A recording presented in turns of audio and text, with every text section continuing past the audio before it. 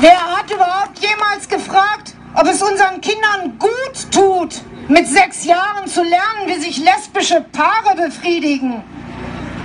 Wir wollen auch keine Hassprediger. Wir wollen keine Megamoscheen. Und schon gar keine fünfmal am Tag von Türmen krähende Muizine.